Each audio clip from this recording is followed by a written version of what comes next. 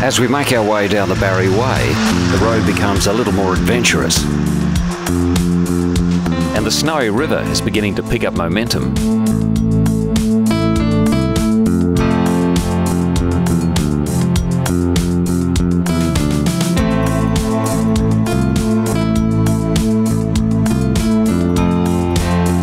Clive Richards Farm's Snowy River Pistachios is just ahead. Just near Suggan Buggan, a hamlet famous for a small schoolhouse built in the 1800s.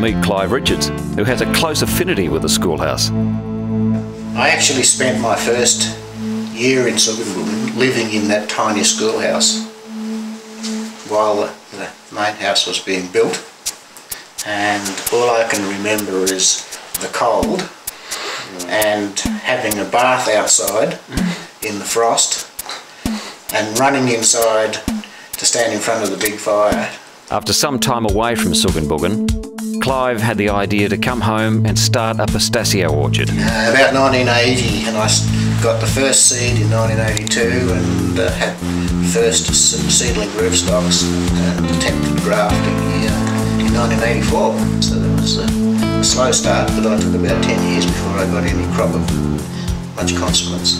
The fires that swept through the East Gippsland highland a few years back nearly destroyed Clive's dreams and his life. Fires destroyed the whole orchard. Screaming wind, hot northwesterly wind.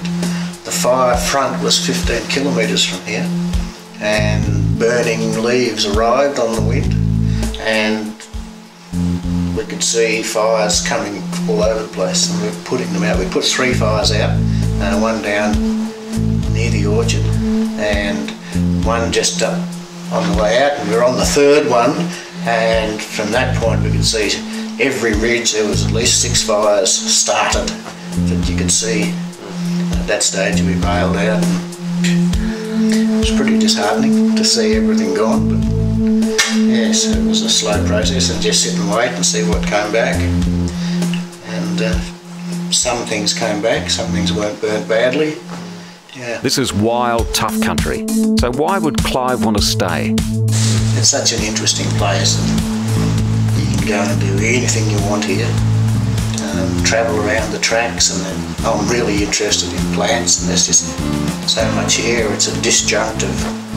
there's plants from the mallee here, remnants of them.